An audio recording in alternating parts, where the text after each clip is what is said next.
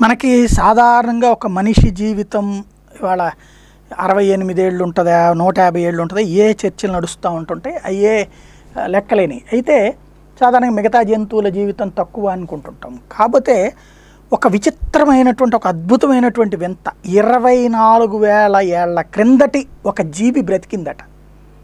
మనకి సినిమాల్లో చూపెడతా ఉంటుంటారు. ఎప్పుడో పాతిక ముప్పై ఏళ్ళ క్రితం యాభై ఏళ్ళ క్రితం ఎక్కడో మంచు కొండల్లోకి వెళ్ళి అక్కడ చిక్కుబడిపోయి అందులో మంచు కప్పబడిపోవడంతో చావు బ్రతుకుల మధ్యకి వెళ్ళిపోయినటువంటి వాళ్ళు ఆ తర్వాత ఎవరో వెళ్ళి పట్టుకుంటుంటే దొరికారన్నటువంటి కోణంలో ప్రొజెక్ట్ చేస్తుంటారు. అయితే అది సినిమాల్లో కల్పితం. కానీ ఇక్కడ ప్రాక్టికల్గా జరిగింది ఏంటంటే మైక్రోస్కోప్లో మాత్రమే చూడగలిగేటువంటి అతి చిన్న జలవర జలచరం డెల్లాయిడ్ రాటిఫర్ జలగలాంటి జీవి ఇది ఏకకణ జీవి. ఇది ఒకటి తాజాగా రష్యన్ ఆర్కిటిక్లో ఉన్నటువంటి కలేజా నది అలేజా నదిలో కనుగొన్నారు. దాని చుట్టూ ఉన్నటువంటి మంచు కరిగి మళ్ళీ కొత్త ఊపిరిలు ఊదుకోవడమే కాదు ఇది ప్రత్యుత్పత్తి కూడా చేస్తుంది. ఇలా ఘనీభవించినటువంటి స్థితిలో ఉండడాన్ని క్రిటోబియోసిస్ అంటారు.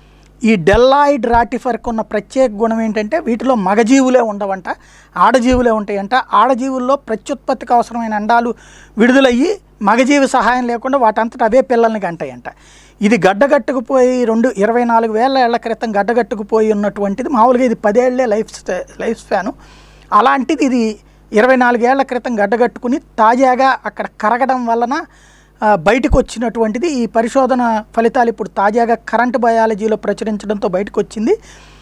బహుళ కణజీవిని గడ్డకట్టుకుపోయే స్థితిలో ఉంచి వేల సంవత్సరాలు బ్రతికించవచ్చు అన్నటువంటి నిజాన్ని బయటపెట్టినటువంటి అంశమైంది. ఇప్పుడు ఆ జీవి కాస్త పిల్లల్ని కూడా తయారు చేస్తుంది పిల్లల్ని ఉత్పత్తి చేస్తుంది. ఈ డెల్లాయిట్ రాటిఫైర్ వయస్సు ఇరవై మూడు వేల తొమ్మిది వందల అరవై నుండి ఇరవై నాలుగు వేల నాలుగు వందల ఎనభై ఐదు సంవత్సరాల మధ్యలో ఉంటుందనేది రేడియో కార్బన్ డేటింగ్ ద్వారా కనుక్కోవడం అన్నటువంటిది ఇక్కడ ఇంపార్టెంట్. డెలాయిడ్ రాట్ఫర్ నుంచి మంచినీటి చెరువుల్లో సరస్సుల్లో మాత్రమే జీవించగలిగేటువంటి ఈ జీవి చక్రాలు కూడా ఉంటాయంట దీనికి. తక్కువ ఆక్సిజన్ ఆకలి అధిక ఆమ్లత సంవత్సరాల తరబడి డీహైడ్రేషన్ ఉన్నా కూడా అది జీవించగలిగింది అన్నటువంటి విషయం తెలిసి అద్భుతం కింద ఫీల్ అవుతున్నారు. ఇప్పుడు దాని మీద పరిశోధనలు పెద్ద ఎత్తున చేస్తున్నారు. ఇది భవిష్యత్తులో కొత్త పరిశోధనలకి కారణం కావచ్చు.